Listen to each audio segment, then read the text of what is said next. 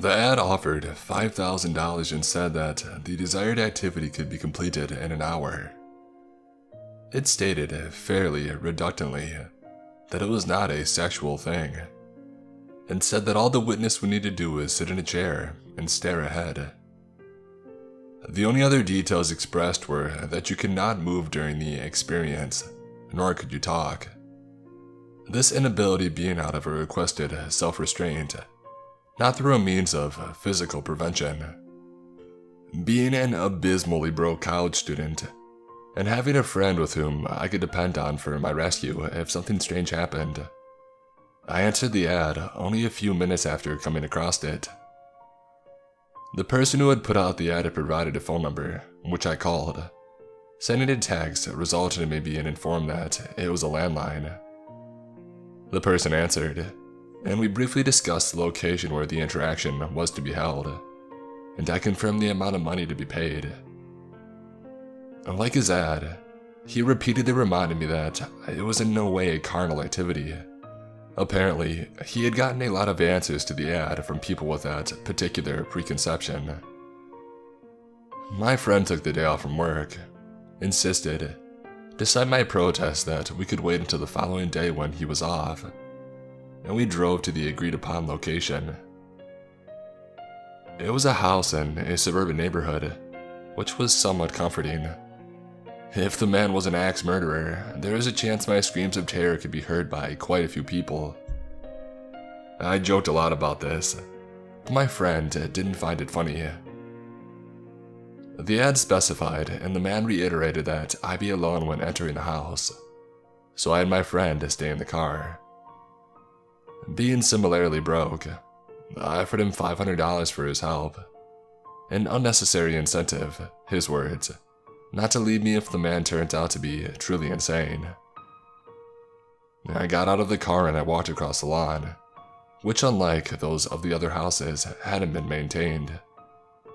The grass was high, weeds threatened to burst through the concrete of the driveway and sidewalk. The man had sounded fairly old on the phone, so I attributed the ill maintained property to an inability to perform the duties, rather than some indication of insanity. I was instructed to immediately enter once I had arrived, so I didn't bother knocking. The unlocked door opened into a foyer, and connected to this was a hallway that led into a kitchen. The hall held a single door, which I assumed led into a closet or down to a basement.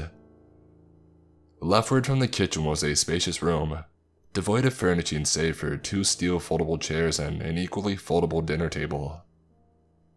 The foyer, hall, and kitchen were in similar states of bareness, and aren't worth remarking on beyond that. Sitting in one of the chairs in the great room was a man, who I knew at once to be the dealer of the ad. There is a certain familiarity about him, one of those times when a voice is an almost eerie reflection of the person from whom it is issued. He nodded and gave a wave, but it did not speak. I approached and sat down at the chair opposite him. To my left on the dinner table was a box. The top of the box was a clear case, through which a neat stack of money could be seen. The base of the box was black, with a timer at its face, and a clasping mechanism which sealed the upper portion to the bottom. It's a time release device. Now that you're here, I will start it. He immediately does. And once an hour has passed from this point, the box will open, and you are free to take your payment. You needn't say anything once that time arrives, and can depart a slightly richer person. Now, all you must do is look at me. You may of course blink, but please do not speak or look away. It is very important that you be both silent and still. And so, the staring session began. It was expectedly awkward for the first few minutes. He stared right back at me.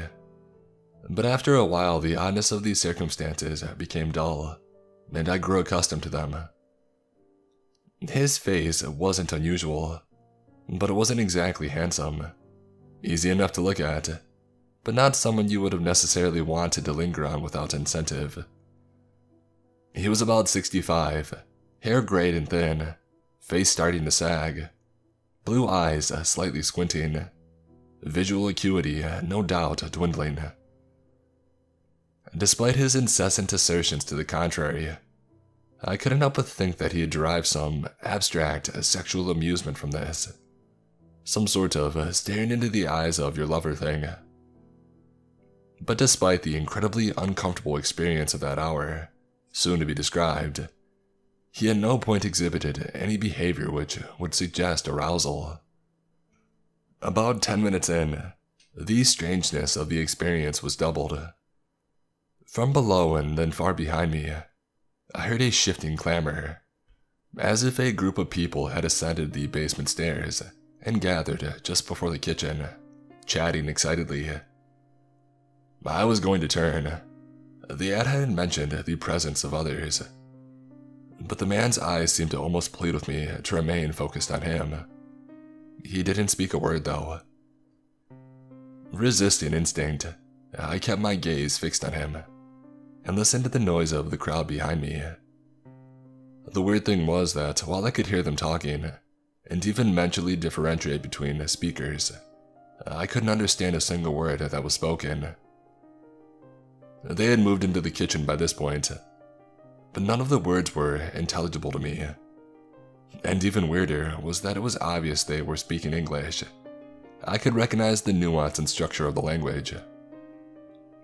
The man's eyes imparted nothing beyond the unspoken insistence that I keep mine on him. My inability to recognize the words which were clearly English troubled me greatly, and I started saying words in my head to reassure myself that I had not somehow forgotten the language. I couldn't check exactly how much time had passed, the timer being too far out of my peripheral vision. But about 40 minutes into the experience, the voices were right behind me, in the great room. There were perhaps 12 distinct voices, all chattering and laughing and speaking some unrecognizable variants of a language that I had been speaking for nearly two decades. Women, men, and children conversed just behind me. Not a single one, not even for a moment, being understandable. I was terrified. Their appearance and migration from the basement to right behind me was strange, yes. But the possibility that uh, something was wrong with me, that I might have had some sort of stroke or neurological slip up, was far worse. My eyes had stayed on the man, but my mind had momentarily receded, turning over these bleak possibilities. Upon returning my focus to the man, I saw that he was crying. Inaudibly, of course, but the tears were there, the lips slightly quivering. Instinct almost compelled me to ask what was wrong, but I stopped myself, both for the sake of the experience and a new fear that speaking would somehow draw the attention of the partiers to me. And for some inexpressible reason, I was sure that getting their attention wasn't something that I wanted. A new terror dawned then. What if the group continues their movement and they press forward, swarming around us? With each second that passed, I grew more certain that seeing these people would cause something horrible to happen. Their voices did grow louder, but no closer in proximity. I started to shake. My heartbeat quickened, and my breathing became labored. I tried to calm myself, but the presence of those people behind me was so dreadful, in a way that I still cannot find the words to properly describe. Against my control, as I shuddered, I let out a low moan. It was barely audible, more of a release of air than proper emission of the vocal cords. But the man's eyes grew wide with terror, and from behind me for the first time, I heard something that I could understand. Oh, would someone like to join the party? I froze in place. Even my heart seemed to quiet its movement. The noise behind me still continued, but with considerably less people causing it. The attention of several members had apparently been drawn from the conversation. Drawn to me. I became like a statue, not even allowing myself to blink. The man's eyes remained wide, but he had stopped crying. He stared at me with what I can only describe as mindless terror. Despite my earlier belief that seeing these people would bring about some horrible event, I tried to see within his eyes even a dim reflection of the scene behind me. But nothing was reflected, not even his thoughts. I could have sworn that I heard a request to join the party. A woman's voice. I Think it was one of dear old dad's friends. A man's voice. Ha, that old fool couldn't keep a friend if his life depended on it. You two sure saw to that. A third voice, another man. There was a chorus of disconcerting laughter which erupted. Oh well, shall we go back downstairs? The others who hadn't spoken seemed to respond in agreement, although I couldn't understand them. As gradually as they had come, the voices went away, returning downstairs and eventually fading to inaudibility. A few minutes later, the timer beside us went off, indicating that the hour had passed. The man almost collapsed at this moment, sagging back in his seat and breathing raggedly. I went to help him, but he held up his hand, dismissing me. Before I could say anything, he cried out, Thank you, and repeated the same multiple times between breathing.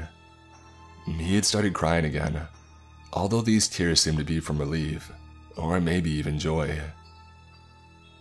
After a few moments of this, he recovered himself and sat upright in his chair, and gestured to the box and said, The money is yours. You're free to go. Thank you sincerely for accompanying me during this time, for noticing me. Please, take the money and leave this place. I'll be heading out myself soon enough. Despite the utterly bizarre experience, I didn't want to ask any questions. That migratory horde of partiers had scared the crap out of me, and I didn't want to remain in the home longer than I had to. I grabbed and pocketed the money, not bothering to count it, and I walked away, waving behind me as I went. I made my exit as quickly and quietly as possible. I closed the door, relieved that I hadn't heard rushing footsteps ascending the stairs. My friend was still parked outside, right where I had left him. I got into the car and let out the heaviest sigh of my life. Guess he was a no-show, huh? Not surprised. No one just gives away five grand. What are you talking about?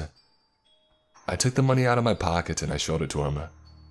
He looked at the money and then to me with an expression of incredulity. But you were only in there for five minutes. Did you steal it? I laughed. The kind of nervous laugh you let out with someone says something extremely odd, or after you had just survived some perilous experience. In my case, either one could have been the cause. I eventually composed myself and said, what are you talking about? I was in there for an hour. The money was in a locked box with a timer set for that exact amount of time. My friend's expression went from one of disbelief to worry, and he pointed at the clock on his radio. I remembered what time it had been when I first left the car, and saw that only five minutes had passed since then. I stared at the clock, and then turned my gaze to the money as if it would somehow reconcile the disparity in perceptions of time. What exactly happened in there? He asked this softly, which made me feel even worse. I didn't want him to think I was crazy, or that I had hurt someone and stolen the money. But to avoid the former suspicion, I couldn't tell him about what actually happened.